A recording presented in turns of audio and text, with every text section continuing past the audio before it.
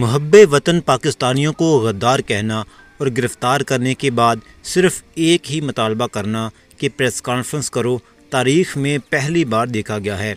जो भी पाकिस्तान जिंदाबाद का नारा लगाता है, जेल में डाल दिया जाता है या फिर अगवा कर लिया जाता है। इमरान रियाज खान को अगवा हुए इकतालीस दिन गुजर गए। अभी तक उनसे मुतलक कोई मालूम नहीं कि वो कहाँ हैं, किस हाल में हैं। नाजरीन शहरियार अफरीदी की ये वीडियो बहुत ज़्यादा वायरल हो रही है। वीडियो मुलाजा फरमाएँ और अपनी राय का इजहार ज़रूर करें